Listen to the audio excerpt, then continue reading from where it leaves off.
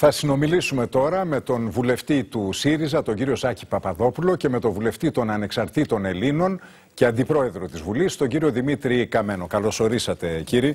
Θα, θα ξεκινήσω από τον κύριο Καμένο. Έχει ε, και νέα να μας πει. Έχει νέα διότι συνεδρίασε. Ακριβώς. Θέλω, θέλω να ρωτήσω, κύριε Αντιπρόεδρε της Βουλής, ε, αν αυτή η δήλωση σήμερα του Προέδρου σας του κυρίου Πάνου Καμένου ότι πάτε με την κυβέρνηση μέχρι την ολοκλήρωση της τετραετίας ε, είναι και δήλωση που αφορά την παραμονή του στο Υπουργείο Άμυνας. Θέλω να ρωτήσω δηλαδή... Όχι, όχι. Πώς δεν γίνεται αλλιώς; Θα σας πω εγώ mm -hmm. πώς γίνεται αλλιώς. Βεβαίως γίνεται. Γίνεται να μην μετέχει στην κυβέρνηση ή να είναι σε κάποιο άλλο Υπουργείο, μη σχετιζόμενο με τα εθνικά θέματα και να συνεχίσει να στηρίζει ε, την κυβερνητική πλειοψηφία στη Βουλή.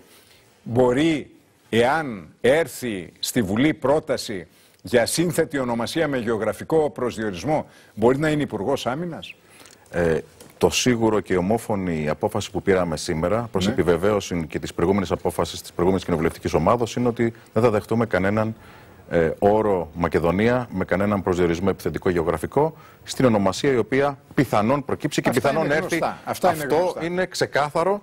Οπότε δεν μπορούμε να συζητήσουμε σε αυτό το Ακούστε, ζήτημα. Ακούστε, Κύριε Αντιπρόεδρε, δύο σενάρια υπάρχουν.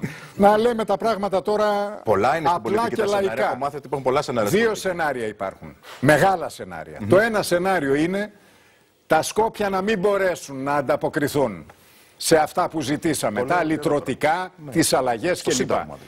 Δηλαδή. Και βλέπουμε ότι. Το πρόβλημα βλέπω... δια της φύγη. Δια της φύγης. Μας βγάλατε και το νέο σήμερα με το ΖΑΕΦ. Κοιτάξτε, το... φαίνεται ότι υπάρχει πρόβλημα με το ΖΑΕΦ και, και, με, και με την δωροδοκία. Τον ίδιο συνομιλητή. Ναι, υπάρχει πρόβλημα. Λοιπόν, το ένα σενάριο είναι αυτό. Αυτό σας απαλλάσσει όλους από τα προβλήματα και, τους πονοκεφάλους. Για να είμαστε ειλικρινείς. Όλους. Ναι. Όλο το πολιτικό σύστημα απαλλάσσεται από έναν πονοκέφαλο. Το δεύτερο σενάριο, που όμως δείχνει να είναι πιθανό, άκουσα και τον ανταποκριτή μας τώρα να λέει ότι ο ΙΕ θεωρεί ότι είναι η φορά που είμαστε πιο κοντά στη λύση. Είναι να έρθει ο κύριος Τσίπρας ε, τους επόμενους μήνες με μία πρόταση που θα έχει τα αλυτρωτικά και ένα σύνθετο όνομα με γεωγραφικό ή άλλο προσδιορισμό. Εκεί, εάν εσείς δεν το ψηφίσετε όπως αποφασίσατε... Με λελιμένα τα αλυτρωτικά στο Σύνταγμα. Με λελιμένα.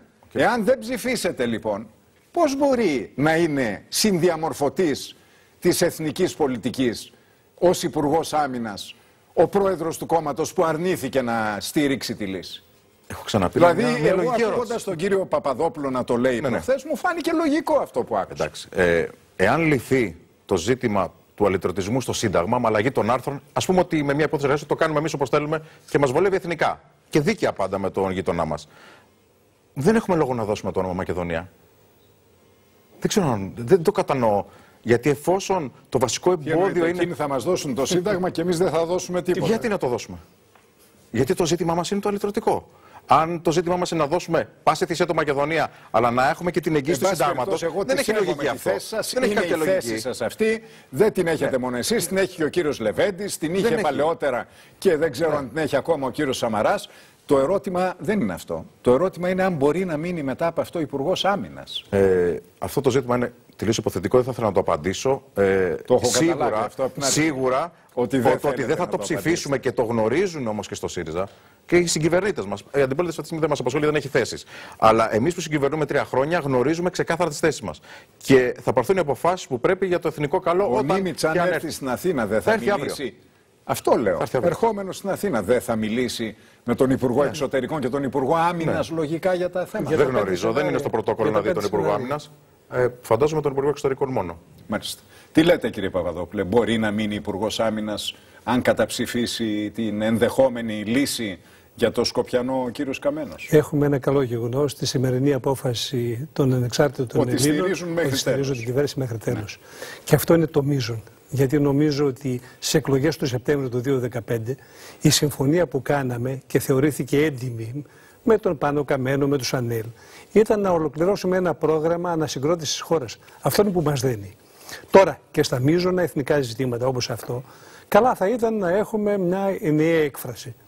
Ειδικά αυτό που είπα εγώ είναι ότι θα ήταν πολύ καλό και ο Υπουργός Εθνικής Άμυνας, ο οποίος θα πηγαίνει στις συναντήσεις τις οποίες θα κάνει το ΝΑΤΟ, αν πάρει απόφαση η Βουλή, που συμφωνώ και εγώ με τον Δημήτρη ότι δεν φαίνεται και πάρα πολύ πιθανό, γιατί άκουγα και τα σενάρια τα οποία λέγατε κι εσείς και τα νέα ζητήματα που βγήκαν για τον Ζάεφ. τον Ζάεφ. Και, φαίνεται, η και φαίνεται ότι αρχίσαμε τις συγκρούσεις πριν καταλήξουν οι γείτονες πώς θέλουν να ονομάζονται. Λέω λοιπόν να κατεβάσουμε τους τόνους και να μπορέσουμε να συνοηθούμε εκεί που φαίνεται ότι σε ένα μεγάλο εθνικό ζήτημα θα μπορούσαμε στα αυτονόητα να συμφωνούμε. Και να καταλήξω. Η μεγάλη αρχαία Μακεδονία γεωγραφικά ρωτήσω κάτι περιλαμβάνει και, τη και το βόρειο τμήμα της. Να ρωτήσω ναι. κάτι βασικό. Τώρα δεν, πρέπει να δεν ξέρω τι περιλαμβάνει γεωγραφικά η Μακεδονία, πάντως ε, Μακεδόνες δεν είναι αυτοί. Ε, Σίγουρα, το έχει πει ο Γλυκόροφ. Το είπε ο ιστορικός τους ηγέτης. Και δεν υπάρχει μακεδονικό, ότι είναι μακεδονικό έθνος. Αλλά στα διαβατήρια λένε μακεδονικό nationality Δεν δεχόμαστε εμείς ότι υπάρχει μακεδονικό έθνος. Μα δεν υπάρχει. Ποιος ιστορικός; Ήταν ελληνικά φύλλα. Ο Γενικός Γραμματέας του ΝΑΤΟ το είπε.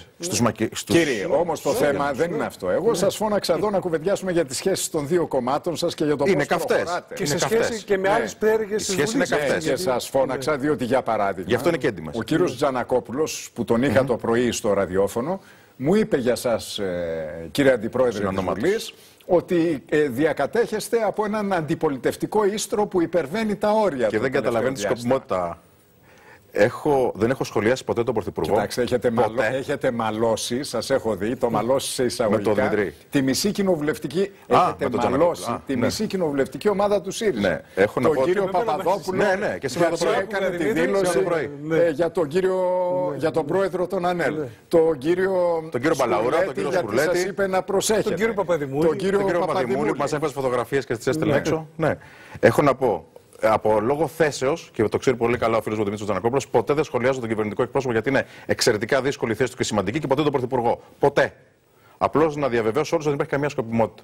Εγώ δεν ξύπνησα ένα πρωί να πω γιατί δεν υπάρχει μου λένε. αντιπολιτευτικός σύστρο δηλαδή. Όχι. Αλλά μια έντιμη σχέση πρέπει να έχει διάλογο και ένταση. Όπως τη σχέση μας με τα παιδιά μας, με τη γυναίκα μας, με τους φίλους μας. Ε, όταν ξεκινάει από την πλευρά του ΣΥΡΙΖΑ αυτή η κριτική, είσαστε ακροδεξιοί, φασίστες, περίεργοι, ακραίοι που θα πάτε στο συλλαλητήριο. Πότε είπαμε τέτοια πράγματα. Το είπανε συναδελφοί σου. Εγώ πάντω. Πότε; Συναδελφοί σου. Ναι, ναι, ναι. Μας θεωρούν όσους συμμετείχαν μαζί με αυτούς του ΑΝΕΛ, τους ΑΝΕΛ και όλους τους υπολείπους ότι είναι ακραίοι και ε, άνθρωποι οι οποίοι είναι εθνικιστές ή πατριδοκάπηλοι και οτιδήποτε. Ε, όταν πέφτει αυτή η κατηγορία, εγώ θα πρέπει Πάντως, να τη δράσω. Κατά την ίδρυσή τους η ΑΝΕΛ, κατά τη δική μου εκτίμηση, μετά ο Πάνος Καμένος μιλούσε για πατριωτικό κέντρο, κατά την ίδρυσή τους διεκδίκησαν το χώρο δεξιά της Νέας Δημοκρατίας. Είναι δεξιά. Μα έχουμε καταστατικό ιδρυτική διακήρυξη. Να τη διαβάσουν όλοι τι λέει η Ιδρυτική Διακήρυξη. Συγκεκριμένες σχέσεις και για την Εκκλησία και για τα εθνικά μας ζητήματα και για τα Υπουργεία και για το Μακεδονικό. Το ζήτημα δηλαδή, της Μακεδονίας μας ότι δεν θα δώσουμε το όνομα για κανένα λόγο, άρα δεν μπορώ να το παραπέμψω. Εγώ λέω ότι εφόσον, εφόσον ξεκινά. Εφόσον... Ότι συνεργάζεστε με ένα δεξιό κόμμα; Α, όχι. Μην το λέτε. Όχι. όχι. Τι τους θεωρείτε και, κεντρώου. Ακόμη και τον Δημήτρη. Κεντρώου τους θεωρείτε; Να, να, όχι να το ακούσω. Να εξηγηθούμε; Και με τον Δημήτρη στην Επιτροπή Οικονομικών Υποθέσεων της Βουλής που ήμασταν πολύ ναι, καιρό μαζί. Ακούω τις αναλύσεις του, οι οποίες είναι πάρα πολύ καλές και πάντα προσπαθεί να είναι τεκμηριωμένος για τα μεγάλα ζητήματα της οικονομικής πολιτικής που θέλουμε ώστε να φτάσουμε στην δίκαιη και βιώσιμη ανάπτυξη της χώρας. Εκεί συμπλέουμε.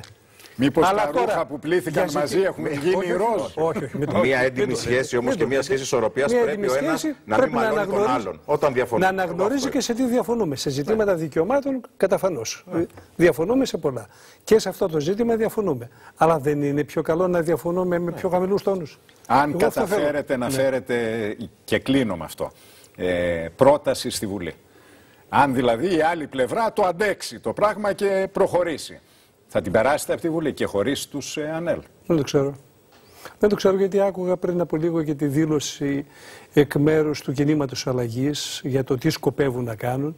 Βέβαια, βλέπω και ατομικές συμπεριφορές πάρα πολλών στελεχών από το ποτάμι και αλλού. Είναι ένα ανοιχτό τοπίο.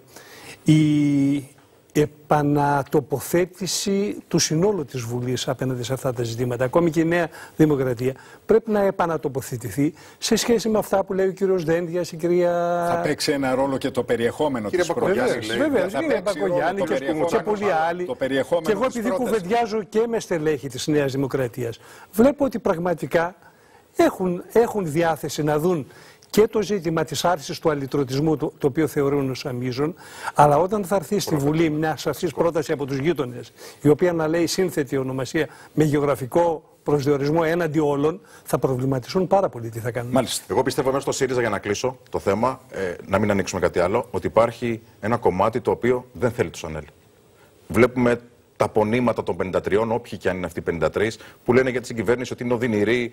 Ε, δεν. Ε, θα πρέπει να ελεγχθεί αυτό το θέμα, διότι είμαστε τρία χρόνια και πρέπει να δώσουμε μια λύση. Ε, δεν θα ελέγξουν οι ανεξάρτητοι Έλληνες το τι γράφουν και το τι λένε μέσα στο ΣΥΡΙΖΑ, αλλά θα παρακαλούσα μια έντιμη σχέση σεβασμού και αξιοπρέπεια προς τον συνεργάτη. Και σε εσάς δηλαδή, υπάρχουν. Και η Αυγή προχθές είχε. Υπάρχουν και... διαφοροποιήσει. Και... Δεν έχετε όλη την ίδια στάση. Συμφωνώ. Ο Δημήτρης με το Θανάσι τον Παπαχριστό. Καμία σχέση δεν έχουν. Ναι, ε, δεν έχουν διαφορετική έκφραση. Επίση δεν ναι. κάνω και μπάνιο. Ή με τον Γιώργο τον Λαζαρίδη. Ναι. Αλλά να πω ότι ε, η Αυγή προχθές μίλαγε πάλι για την κεντροαριστερά. Και φαίνεται και το καρφί στο συνάδελφό σας τον Ανέλ ότι κάνει μπάνιο στο φάληρο. Σας ευχαριστώ και την καλά. Ευχαριστώ κύριε.